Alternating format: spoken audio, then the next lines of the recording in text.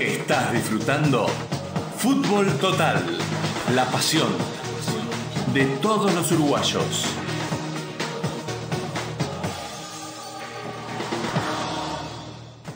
Y en Fútbol Total iniciamos este bloque muy particular donde siempre volcamos toda la información, las estadísticas, los resultados y todo lo que tiene que ver con la última etapa disputada, en este caso el domingo 24 de febrero, donde allí vibró el fútbol tras una noche sabatina, una jornada sabatina donde las intensas lluvias por momentos cortaban un poco esa ilusión de que la etapa dominguera se disputara con normalidad. Finalmente se disputó toda la etapa tal como estaba programada y vamos ya con Heber Américo González a repasar los resultados que dejó esta fecha jugada el 24 de febrero. Muy bien, entonces arrancamos con que los Tierras eh, le ganaron a Con la Justa 2 a 0, San Rafael 2, Babala Z 4 0, 21 de noviembre 1, Inter 0, San Rafael 3, Bella Unión 3, Los Tierras 3, La Red 3, La Red 2 con la Justa 0, San Rafael 2 con la Justa 0, Babala Z4 0 con la Justa 0 y Bella Unión 2 con la Justa 0.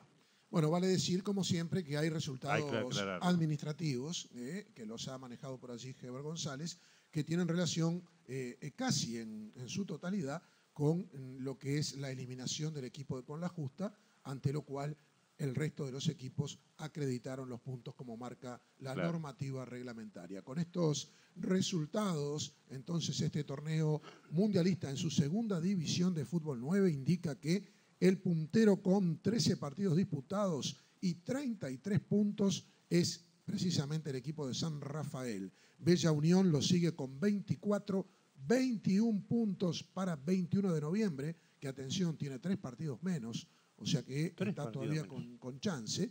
Después aparece el equipo de la red con 18, 14 puntos para Inter, Los Tierra con 9, cierra la tabla, va a la Z4 con 8 unidades, así está esta divisional de fútbol 9. Y aclaramos, Luis, que más adelante vamos a dar al día de hoy los posibles clasificados por competencia y por eh, fair play. Exactamente, los equipos que se están ganando un cupo para la liguilla al día de también los vamos a estar repasando aquí en Fútbol Total. Seguimos adelante, Tapir con la rústica 1 a 1, la banda 5, Unidos 2, Gladiadores 1, la noche 0, tuvo fecha libre los troyanos en esta divisional, que es la tercera división del torneo mundialista, también hablamos de la categoría de fútbol 9. Bueno, aquí el puntero es Gladiadores, con 10 partidos jugados y 22 puntos. Es el líder absoluto de esta divisional, escoltado por el equipo de Unidos, con 17, 14 para la rústica, con 13 puntos igualan la posición Tapir Fútbol Club y FC La Banda. La noche tiene 12 puntos y cierra esta tabla los troyanos con cuatro unidades. Seguimos adelante ahora con fútbol 11, también del torneo eh, mundialista Primera División en lo que es la primera rueda. El Roble y Atlético Independiente 3 a 3, Los Vagos 3, Deportivo Montevideo 2, Estrella Azul 2, Los de Arriba 2, El Apagón 3, Atlético Nacional 0, tuvo fecha libre Estrella del Sur estos resultados y ahora estamos en la categoría de fútbol 11, en la primera división, ha sido una etapa con varios empates, lo cual de alguna manera posibilita al equipo del Apagón, que fue uno de los ganadores de esta etapa, acercarse, mucho más al puntero que sigue siendo Estrella Azul, con 15 partidos jugados y 41 puntos. También con 15 partidos jugados el Apagón con 38 puntos. A tres puntos. Hay tres puntos de diferencia nada más entre el apagón y el puntero Estrella Azul. Después aparece en la tercera ubicación Deportivo Montevideo con 35 puntos, Los Vagos 33, 26 para Atlético Independiente, 23 puntos tiene Estrella del Sur, que gozó de fecha libre en esta última etapa. Los de arriba, que logró ese empate frente al equipo de Estrella Azul, quedó ubicado con 19 puntos, 17 para el Roble, cierra esta tabla de fútbol 11 Atlético Nacional con 13 puntos en su haber. Vamos adelante con el torneo de integración de fútbol 11, grupo A.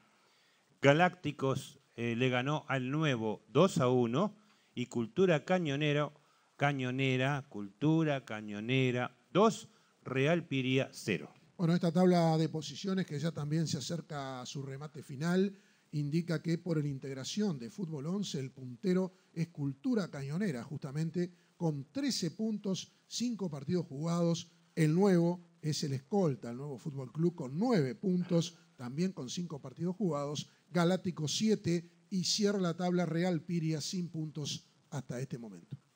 Nos culminamos el resumen de resultados con el torneo de integración Fútbol 9 del Grupo A.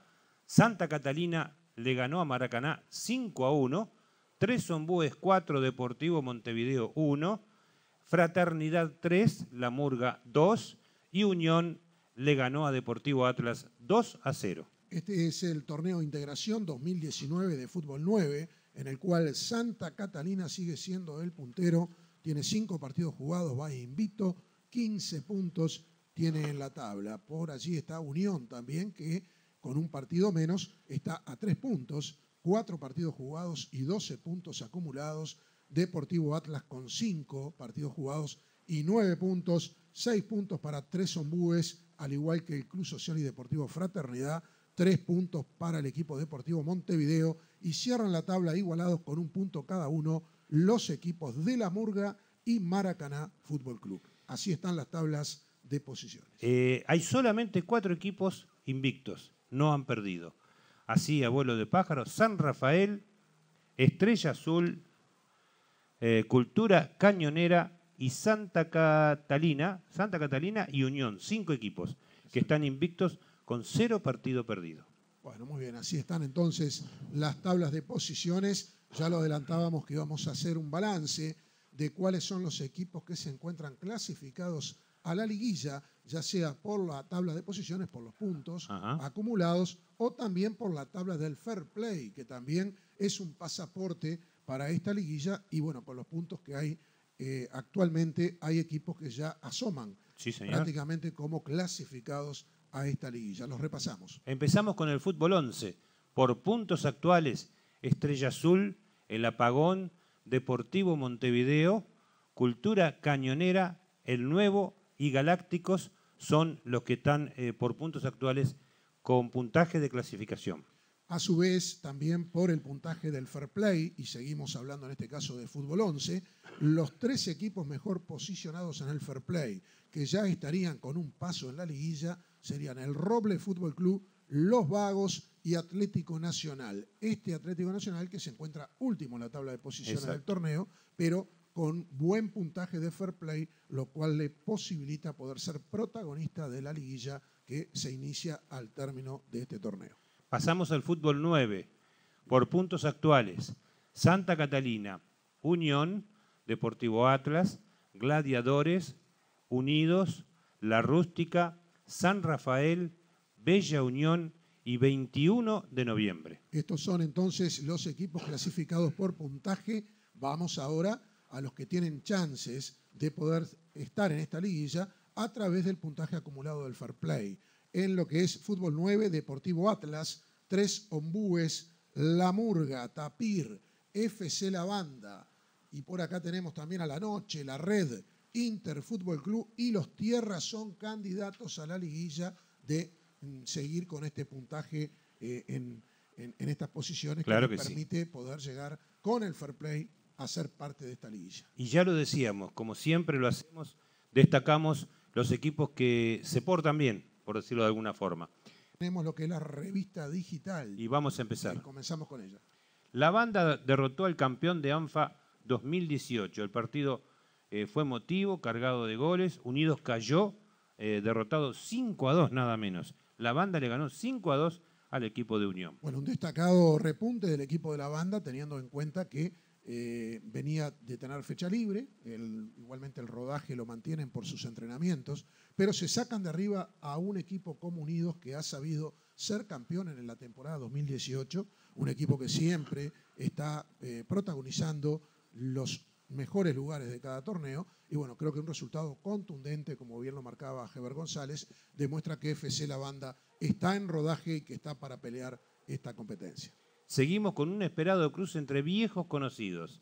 Los Vagos le ganaron 3 a 2 a Deportivo Montevideo en un compromiso que era un partido que era esperado, muy disputado y bueno, ganó el equipo de los Vagos que le ganó 3 a 2 a Deportivo Montevideo. Precisamente como dicen los títulos de la revista digital, ya ambos protagonizaron en la temporada 2018 la final de la Copa Enganche, que la ganó precisamente el equipo de los Vagos, o sea que son viejos conocidos en esto de definir campeonatos, tanto Deportivo Montevideo como los Vagos. El resultado favoreció una vez más al equipo de los Vagos en un trámite que no fue fácil, era parejo ya en lo previo se sabía que los dos equipos se conocen, que tienen buenos elementos, buenos futbolistas. Salió un buen partido, como decíamos, con el triunfo para el equipo de los Vagos. Como decimos siempre también, eh, estamos haciendo un repaso de la revista digital que ustedes, amigos, pueden encontrar en todas eh, las redes sociales de ANFA eh, y en las redes, por supuesto, personales.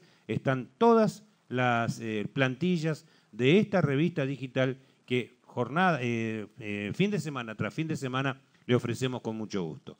Vamos Atlético Independiente, que empató 3 a 3 con el Roble en un vibrante partido. Ambos equipos, dice la revista, desarrollaron un buen encuentro.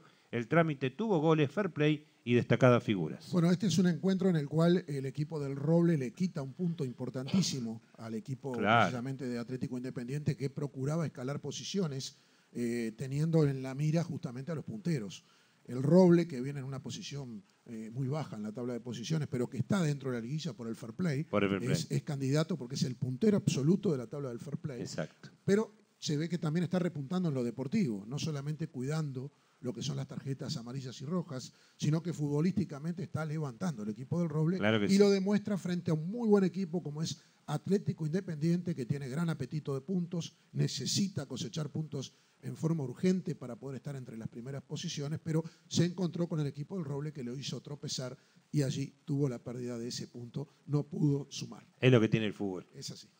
Santa Catalina, seguimos adelante con la revista en estos ecos de la etapa disputada. Santa Catalina sigue entonado y goleando.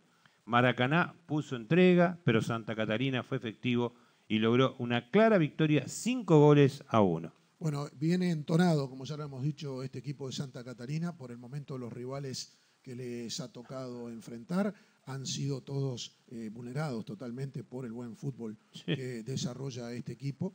Eh, bueno, están en la primera rueda, aún falta mucho. Hay rivales difíciles que todavía no enfrentaron, pero basados en la actualidad, viene mostrando buen fútbol, es el puntero, es invito, como tú lo remarcabas. Exacto. Y bueno, veremos si la continuidad de la competencia sigue siendo con viento a favor ¿eh? para el equipo entonces de Santa Catalina.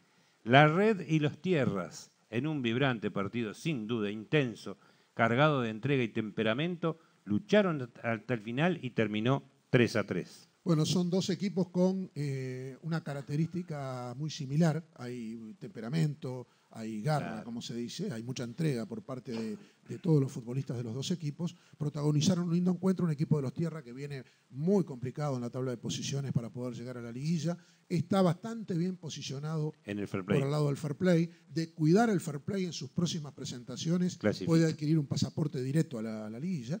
Y bueno, por su parte, el equipo de la red, que también necesitaba de un triunfo para cortar distancias con los punteros, no pudo ser en esta oportunidad. Otra cosa que le queremos también eh, agregar a todo este comentario es que en las mismas redes sociales ustedes amigos pueden encontrar las imágenes de todos los destacados eh, que resultaron después de cada partido y que además fueron premiados. Bueno, hay imágenes para compartir que seguramente van a ser de deleite de los protagonistas y de la hinchada también. Y reiterar en este punto que los mejores futbolistas de cada etapa siguen siendo siempre invitados a nuestro programa aquí en Fútbol Total para estar aquí en el piso con nosotros, charlar de la etapa y, ¿por qué no?, exponer también el premio que logran en cada partido eh, bajo el reconocimiento de los árbitros, que son quienes seleccionan al mejor jugador de cada encuentro. Seguimos adelante, la red y los tierras. No, este ya se los dije. No, acá. Eh, otro empate, igual, 3 a 3, entre San Rafael y Bella Unión. Partido parejo, disputado y con seis goles. Sin duda, que debe haber sido un partido emocionante. Dos muy buenos equipos, San Rafael es el puntero, Bella Unión ha sido un poco como la revelación de este torneo. Ha, sido, ¿no? ha mostrado buen fútbol, ese fútbol que a veces lo tildamos aquí en el estudio, eh, fronterizo, que se trata bien el balón. De buen eh, trato. De buen trato. Y eh, bueno, fue un empate. Esto significa que entonado como viene San Rafael no pudo vencer a Bella Unión, que viene todavía en una etapa de ensamble y aún así ha tenido muy buenos partidos, muy buenas presentaciones, un resultado que no le permite ya tirar bombos y platillos a San Rafael porque todavía hay equipos que lo vienen siguiendo con posibilidades, como el caso del 21 de noviembre, que todavía tiene posibilidades, pero este punto que eh, acumuló no le da la tranquilidad absoluta y un partido de seis goles. Exactamente. Seguimos adelante. Los de arriba fueron protagonistas. Frenaron al líder. El equipo que orienta Pablo Alves se paró eh, firme frente al puntero del torneo Estrella Azul y terminaron empatados. Sin duda un partido esperado, ¿no? Sí, claro, pero además eh, vale destacar que eh, han sido pocos los equipos que han o empatado, porque ganado nadie le pudo ganar todavía a claro, Azul. Claro. Pero los de arriba, que eh, se pararon de otra manera este fin de semana, lograron ese empate que les permite también estimular al equipo, porque empatar con el que va primero absolutamente líder del campeonato durante más de 10 fechas es el puntero. Para cualquiera. Sacar un muy buen resultado para motivar al plantel, como bien lo dice así Pablo Alves, tiene ahora, por lo menos en los jugadores, un poco más de motividad para la próxima fecha se escuchó el grito en las canchas, el frater, el frater, que era el fraternidad, que sumó tres valiosos puntos, le ganó a la Murga y de esta forma dejó, eh, la Murga dejó todo hasta el último minuto, el partido tuvo momentos de mucha entrega y muy, traga, y muy trabado. Los goles llegaron y Fraternidad sumó los tres puntos. Bueno, el Frater es otro de los equipos de esa divisional que está también transitando por la etapa de poder amalgamar todo el nivel futbolístico que puede volcar en la cancha, son las primeras fechas. Ha tenido por allí algún partido en el que no se ha presentado, recordemos por el fallecimiento de un, técnico del equipo, de la institución, que le quita rodaje. Esto sabemos que cuanto más continuidad hay, más chance tienen los equipos. Seguimos adelante entonces con el apagón, que se encendió otra vez y ganó 3 a 0. Eh, quedó segundo y a solo tres puntos del puntero. El apagón lo decíamos hoy al repasar las tablas de posiciones, con este empate que tuvo el equipo de Estrella Azul, eh, se le hace un poquito más eh, fácil poder llegar a la punta. Y hoy por hoy goza de la segunda ubicación y está allí al borde de poder igualar con algún tropezón que pueda dar en las futuras fechas Estrella Azul. Es la expectativa que tiene el apagón para definitivamente poder alcanzar el puntero y poder estar en los primeros planos de este torneo un equipo que sabemos que tiene buen plantel, que está bien orientado y que, bueno, eh, creo que con Estrella Azul vienen siendo los equipos que tienen más chance de poder estar en las primeras, eh, en las primeras posiciones de este torneo. Esta fue la revista digital entonces. Muy bien, sí, hasta aquí llegamos con toda la información de lo que tiene que ver con las estadísticas, resultados, posiciones, el informe de la revista digital de Fútbol Total.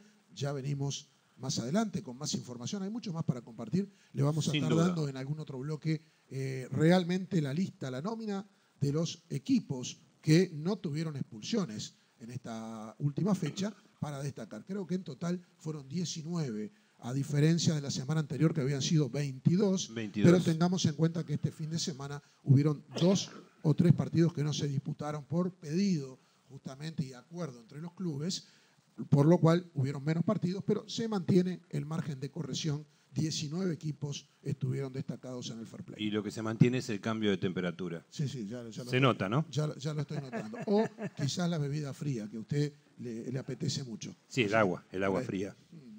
Vamos a dejarlo por ahí. Nos vamos a una nueva pausa, ¿le parece? vamos. Así le damos oxígeno también Exactamente. para continuar. Ya volvemos.